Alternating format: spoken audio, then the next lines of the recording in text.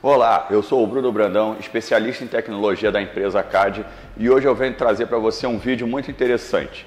Muitas pessoas me perguntam, têm dúvida, principalmente na hora de comprar um equipamento, qual é a diferença de um motor de passo e um motor servo motor. Tenho aqui na minha mão um motor de passo e um motor servo. Vocês podem observar que o tamanho é semelhante, etc. Mas há uma diferença tecnológica considerável entre eles e eu vou explicar para vocês qual é essa diferença. Em primeiro lugar, eu vou explicar para vocês como funciona um motor de passo. Dentro do motor de passo existem várias bobinas, tá? Vamos imaginar que só tenha quatro, fazendo uma cruz. Quando você energiza um conjunto de bobina, o eixo vai em direção àquelas bobinas. Quando você energiza do outro lado as outras bobinas, o eixo gira e ele vai andando de passo em passo. Por isso, motor de passo. Então, é muito mais fácil você controlar eletronicamente um motor de passo, porque você só informa para ele quantos passos você quer que ele ande. A cada passo ele vai andar um determinado número de graus você sabendo quanto ele andou, você não precisa ter nenhuma informação de volta eletrônica. A placa-mãe não precisa saber quanto ele realmente andou. Quando você dá a informação ande 500 passos, ele vai simplesmente gerar o número de graus equivalente a 500 passos. Por isso, eletronicamente, é mais barato construir um controle de motor de passo. Consequentemente, normalmente os equipamentos com motor de passo são mais baratos. Motor servo ou servo motor. A concepção interna do motor servo é bem diferente do motor de passo.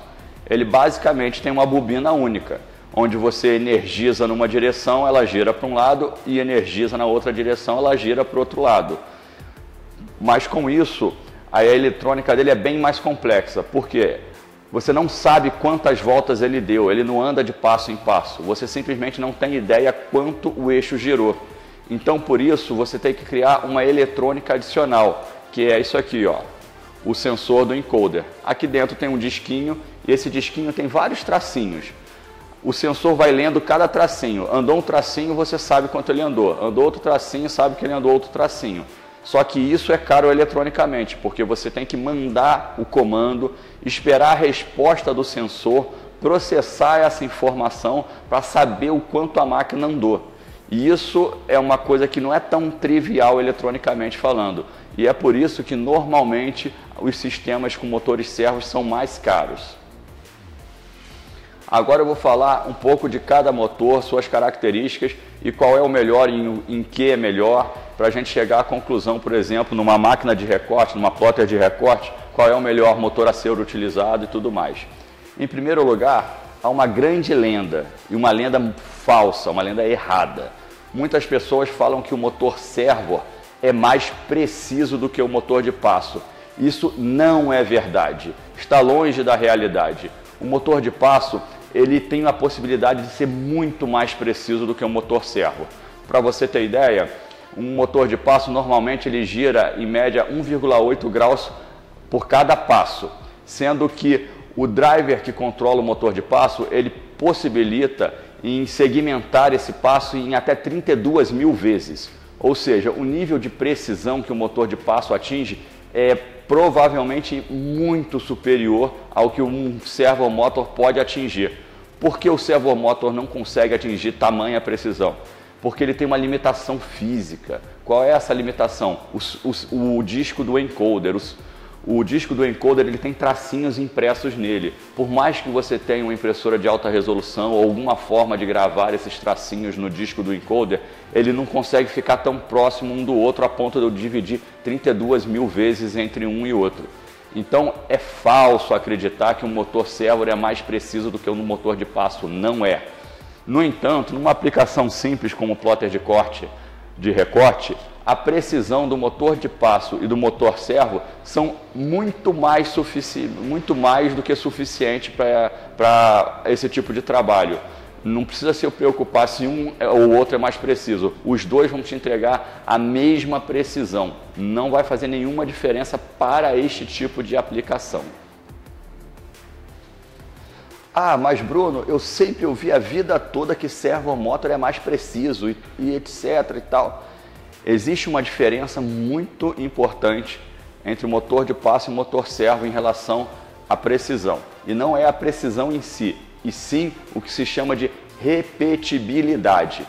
Sim, o motor servo ele tem uma repetibilidade muito mais precisa do que o motor de passo.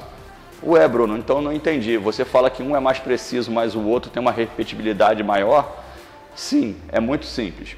Imagine que você está andando na praia e finca duas bandeiras com 40 passos de distância. O motor de passo, você vai vendar os olhos, mandar a pessoa andar 40 passos até que ela tente chegar perto da bandeira, mas ela não sabe no final se ela realmente chegou ou não na bandeira. O motor servo, ele não é cego, porque tem a comunicação entre a placa-mãe e o sensor o tempo inteiro. O comando do motor servo seria fazer uma analogia do tipo: você finca a bandeira a 40 passos de distância, mas você não avisa exatamente quantos passos você vai dar. Você vai falar simplesmente ande até encostar naquela bandeira. É essa a diferença. Então, se eu vendar uma pessoa, mandar ela andar 40, 40 passos para frente, 40 para trás, umas 50 vezes, ela vai nessa ida e nessa volta terminar um pouco, um pouco errado essa distância. Ela não vai terminar exatamente no ponto que ela começou.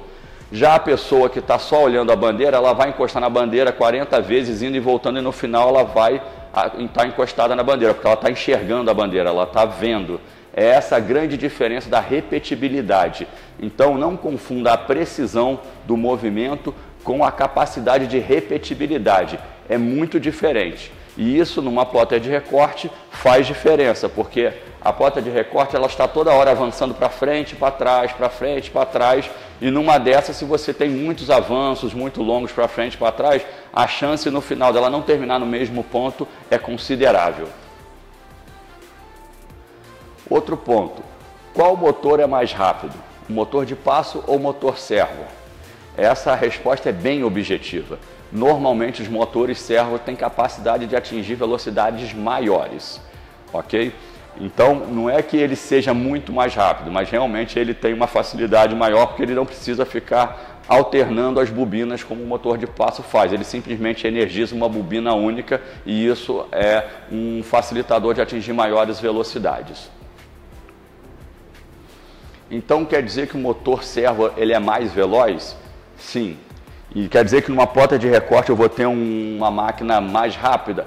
Sim, você vai ter uma máquina mais rápida com motor servo. No entanto, não é a velocidade final que é o mais importante no motor servo, e sim sua capacidade de aceleração. Ah, como assim? Imagine que você tem um carro, um carro comum e um carro de Fórmula 1 você pede para os dois acelerarem o mais rápido possível até chegar a 100 km por hora. No final, os dois vão estar a 100 km por hora, mas o carro de Fórmula 1 fez isso, chegou a 100 km por hora em 1, 2 segundos, talvez 3, e o carro de passeio chegou em 10, 15 segundos na velocidade final de 100 km por hora. E isso é muito importante, porque uma máquina, uma plota de recorte, por exemplo, ela está toda hora acelerando e desacelerando, indo para frente, para trás, para frente, para trás, para esquerda para direita. Então, toda hora você tem inversão do sentido do movimento, você acelera, desacelera. Então, independente da velocidade final que você colocou na sua pota de recorte, a aceleração vai ser muito mais importante, muito mais vantajosa em termos de velocidade do que em si a velocidade final.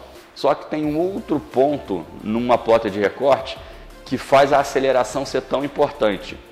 Quando você está recortando um adesivo vinil, por exemplo, a lâmina, ela, o fato dela acelerar mais rápido faz o corte ficar melhor na hora de depilar. Por quê? É que nem você estivesse cortando um adesivo com estilete na mão. Se você passa o adesivo devagar, o corte às vezes não corta direito, ele fica grudado. Agora, se você pegar o estilete, passar ele muito rápido pelo adesivo, sua chance de ter um corte perfeito, fácil de depilar é muito maior. Então, além da velocidade do corte, você tem uma real qualidade no corte diferenciada. Você consegue, na hora de depilar, que é o maior trabalho de uma plotter de recorte, depilar com muito mais facilidade. Esse para mim é o ponto chave, é o ponto crucial da principal diferença de uma plotter de recorte de motor de passo e de uma plotter de recorte com motor servo. Para mim vale muito a pena essa diferença. Outro ponto que não tem a mesma relevância para todo mundo, mas é um ponto importante, é o nível de ruído. O motor de passo ele tem um nível de ruído bem maior do que o servo motor. Então, para quem se incomoda com barulho, está num lugar, num ambiente residencial e às vezes não, não, não, pode ter um, um, ruído muito alto, etc., a máquina de motor servo realmente é mais silenciosa. É um detalhe para alguns, para outros tem uma relevância bem maior, mas é um ponto que também diferencia um do outro.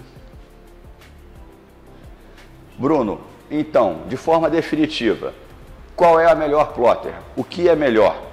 Motor de passo ou motor servo? Essa resposta também é muito simples e objetiva. Não há dúvida que num equipamento de plotter de recorte, um motor servo é superior, é a melhor opção. No entanto, isso vai agregar um pequeno diferencial de valor. O motor servo sempre vai ser um valor um pouco maior do que o motor de passo. Ambas as máquinas vão ser ótimas, vão ser precisas, vão, vão te entregar um corte de ótima qualidade. Mas se você tiver a disponibilidade financeira e puder optar, sempre opte pelo motor servo. É um grande equipamento, é uma grande solução. O, a escolha fica a seu critério.